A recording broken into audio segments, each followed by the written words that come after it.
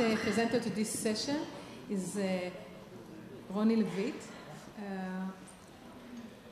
she has a studio for design. She's uh, a graduate of Bezalel, and um, uh, she will speak about spatial urban diagrams. Speaking English? English. Okay, thank you. No, no, okay.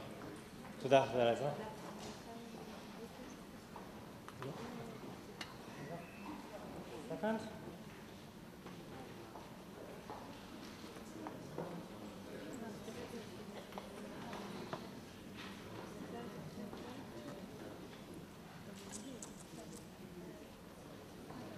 Yeah.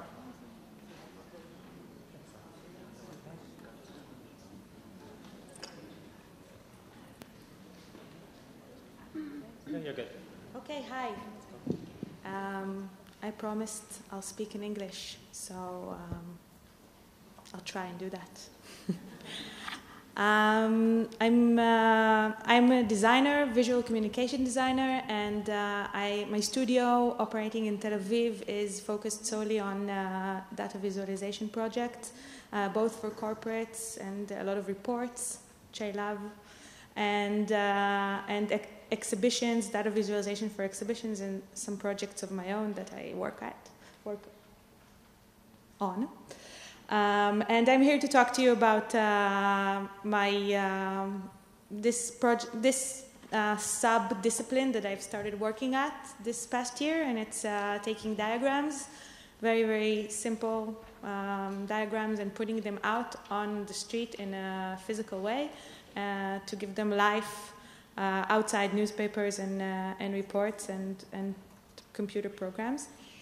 And actually, data visualization, the first data visualization that humankind uh, invented was most likely physical, using uh, stones or pebbles and later clay tokens. These are from uh, Mesopotamia. And they were used uh, for merchants and for bookkeeping. Um, as uh, uh, eminent archaeologist uh, Denise Schmandt-Besserat sa- wrote, clay tokens suggest that physical objects were used to externalize information, support visual thinking, and enhance cognition way before paper and writing were invented. So, things we can touch and feel. Um, I recently had my first son sleeping in the back, and uh, he and I, I remembered watching him. I remembered that I read this theory that babies are born synesthetic, that they can experience one sense with a different sense. Uh, they can see um, sounds. They they uh, hear colors. And after a while, this uh, brain uh, activity changes and, uh, and the connections are, are strengthened and this disappears. But I thought um, that we all know, and as Inbal said before, that uh, we read information better if we have the physical, the visual shape of it, and we can see colors and shapes and orient and, and um, orientation. But what if we can harness another sense for that and use our sense of touch and um, spatial uh, orientation to create more of a rememberability of that that we wanted to uh, people to know. And actually, the city um, is is my playground in terms of oh, um, that I see diagrams everywhere. Um, just looking here, you see this is a bar graph, and uh, and there's tons of them here. And uh, so these images from my Instagram account, I document that. Um, my dinner plate becomes a pie chart. So this happens to me all the time. I work with graphs, I see them everywhere. And the, and the city actually gives me a lot of opportunities to see uh, graphs in buildings. And it's built out of units that uh, can be put together to create uh, relativity. Uh, to, to, show data blocks. So this was this was my um, initial I don't know psychosis uh, to that brought me to to start experimenting in this project. And the first uh, the first part of it was at the Ramat Gan, the Boursa area. It's the Bourse, the um, diamond exchange, and this area was. Um, formerly uh, occupied with diamond cutting uh, workshops. It was very dirty car shops and prostitution at night. And last, I think, 10 years, efforts are made to, to make this area um, Tel Aviv's business uh, quarter. And so high rise buildings are built and uh, trendy cafes popped out. And uh, it's, it's undergoing this transition. And uh, uh, the municipality came to me asking to create public interventions in the, in the space to, to, to make uh, these intimate spots that you can stop and, I don't know, have a moment. So, um, what, what I did, my team, we went out and, and, and put out a survey of the people of, of the Bursa working there, and we found out that this transformation is far from complete, that the area is still very dodgy, uh, especially at night, very uh, uh, very dark. Uh, at the daytime, it's extremely hot. There's no shade. There's no sitting places. So, kind of not the the very uh, trendy, nice industrial, um, former industrial, now uh, um, easy to live and easy to work at area. So uh, we've the, we've took all this data and we, and we collected some more data that we thought people would want to see and people would want to experience. And while doing that, we, we were looking for uh, containers to, to show it. So fences and, uh, and pipes and, and the containers needed to fit the, the data so, so it creates um, this uh, whole experience. So this gave birth to, to six diagrams, seven. Um, this uh, the, there was this sitting area that was packed at lunchtime, and it was, it was really the only sitting area. But as you can see with the survey, 80% think that say that there's no sun, so literally you can't sit in the bench without being in the yellow part, which is the sun. So physically, you, you are squished. And uh, another, another uh, question was about uh, places to sit. And again, 68% of the people say that there aren't any places to sit. So this is the red zone, the forbidden zone. And you really, it's pretty hard not to sit on the forbidden zone or like that. So this was some of the statistics in this little uh, um, resting area. And um, some of the diagrams are, are basically drawn on the floor or drawn on the wall, but the, just by situating them in, in a specific uh, spot, we, we created something different. So we have this, there is this uh, triangle of chairs uh, nailed to the floor, and people sit there for, for like a quick coffee and we wanted to talk about a meeting, a conversation, and this area is very, very diverse. So because there's uh, also uh, like boutique hotels and uh, and working girls that come from different places in the world. So we wanted to show about languages and what languages are spoken in Israel in this little uh, conversation spot. And uh, again, with the smoking area, that the smoking area is, uh, has these tiles, and we use those tiles as, as pixels to show data blocks of how much would you uh, save if you would stop smoking for a week, for a day, uh, for a day, for a week, for a year, half a year. The, the orange is half a year. Um, some of the visualizations that's kind of funny because it was induced. Well, it was uh, ordered and paid for by the municipality, but some of the information kind of it kind of showing them shedding not not such a, a nice light on the on the municipality, and this uh, information is, uh, is about trees and the ratio of trees per people. And there is this very nice square that they really, really did a lot of effort into making it like this nice roundabout with a boutique hotel. And there's a tree, and it's this palm tree that's very, very tall and has this very little, you know, leaves on top, and it really produces no shade in this hot country of ours where it's sunny most of the time. And uh, we've created this artificial shade of, of other countries and their, and their trees as opposed to ours. Uh, another issue was, of course, uh, light. We were looking to, to show information coming out of a, of, of a beacon of light, so we were looking for um, lamps. And as it turned out, we found, uh, we found this really uh, cool lamp that, uh, that was uh, just on top of, uh, of, a of a bench. So we said, okay, so let's color the bench as well.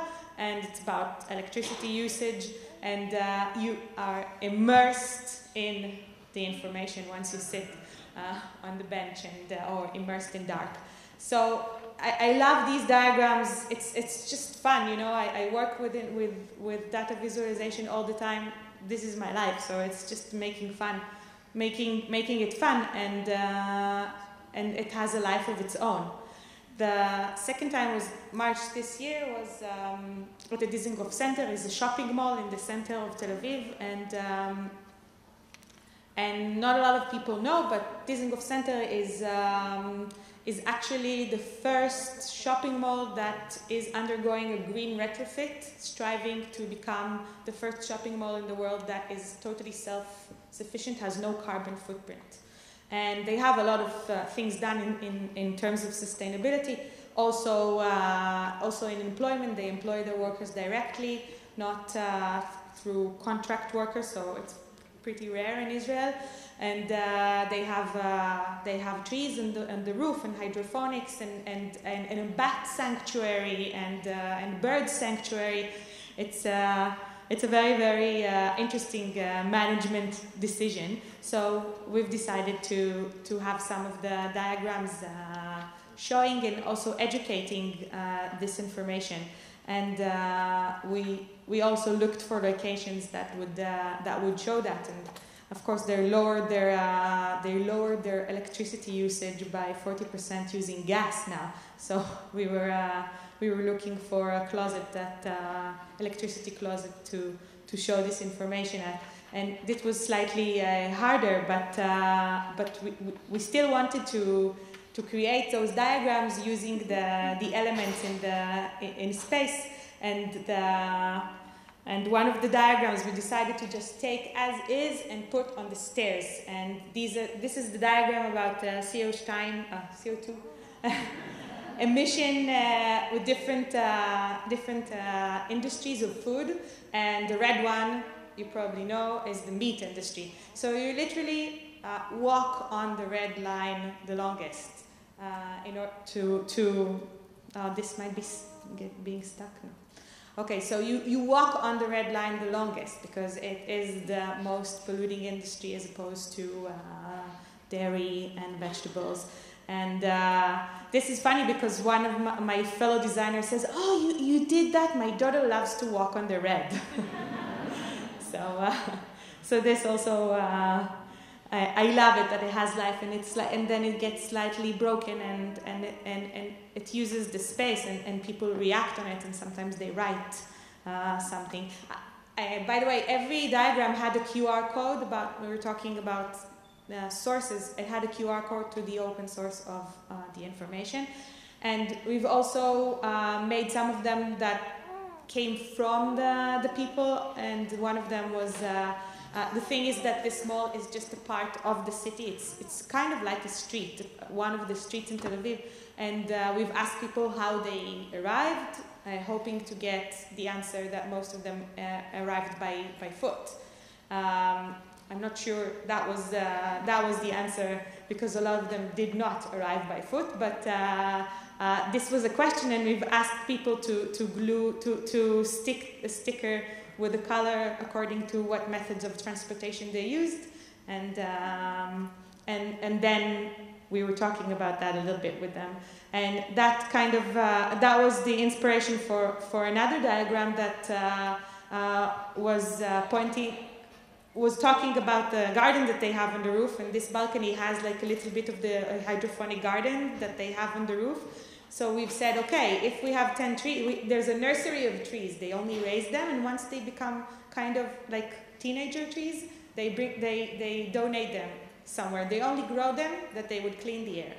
So if you would, uh, uh, one tree needs 10 years to clean up what you uh, ride in, a, like the, the carbon that a car would deflot, um, put out. I don't, uh, in, in two kilometers as opposed to a train, as opposed to a bus. So we, we, we try to link this transportation to, and this is all on this balcony. And um, the last diagram, this is really something very cute. Um, they have beehives on the roof as well, with the bats and the birds, and, and beehives that actually pollinate uh, flowers uh, on gardens and, and, and balconies, private, private balconies.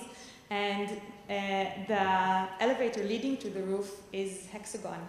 So it was really a no-brainer, and we've decided to to situate this diagram. And uh, honeybees, as you know, are well. I, I, don't know if you know, but honeybees are um, responsible for a third of what we eat.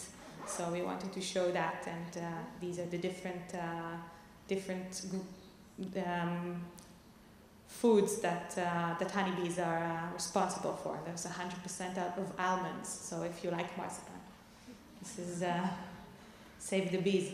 So, so the, and the elevator goes, goes up to the fourth floor, and, and you can see the, uh, the, um, the beehives. So this was really, really fun, and I got to work with amazing people and amazing research, and and because it was so much fun, we're in my studio, we're, uh, we're continuing uh, in this, um, well, I don't know how to call it, this type of, of work.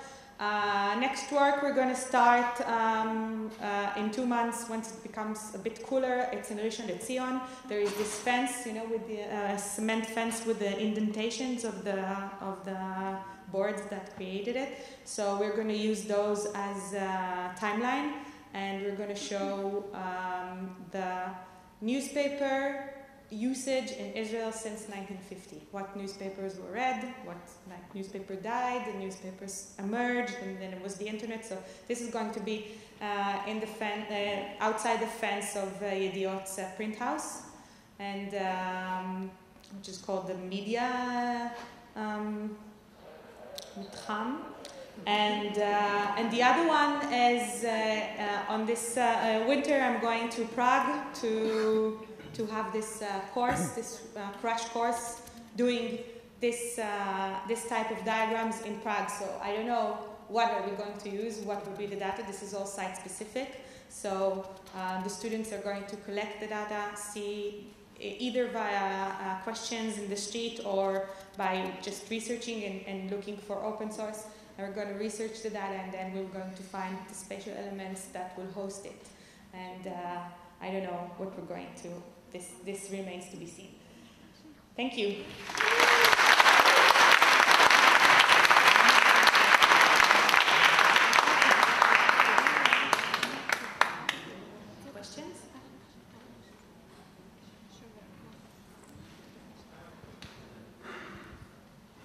What's, what's, what's the craziest project you want to do? I'm sorry, it's, it's super exciting. The lecture was great. Uh, all, all the work is beautiful. What, what is the most interesting project you hope to do? It's a super fan question. what, what would you want to do? How far do you think this can go? Can we use entire buildings? Like, oh yes, I wanted to. Cool. yeah, yeah. And some people have, some, some, some municipalities have said, oh yeah, we want that, but like there isn't the, the, colors are not strong enough and like and so it, it costs too much but it, it, will, it will happen one day. Thank you.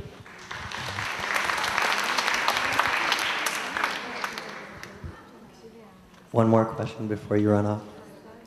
I'm so used to doing things for the screen and uh, my question was when you're faced with this larger canvas like this wall in Rishon, which is maybe meters long, um, how do you think about placement of legends, right? Because it's not like I could just mouse over the thing and find out what it is. Uh, it needs to be close enough that I can figure out, uh, you know, that this is related to that thing, and it needs to be close enough that I'm not going to be lazy and actually walk over to read it. Um, like it's kind of funny you asking this question because, no, I tell you why. Because you are talking about a new thing, the mouse over. I come from a discipline where there's no mouse over, so you, you have to create a poster, and when you create a poster, you have all those different levels of, of uh, visibility and different levels of, of engagement.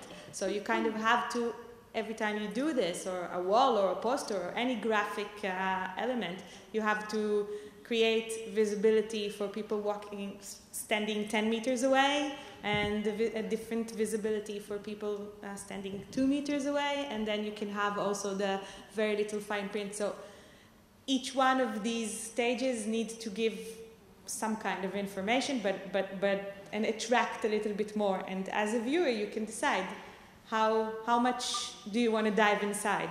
And the hovering is, is a privilege of, of, of the interactive world, so I'm really used to not having it.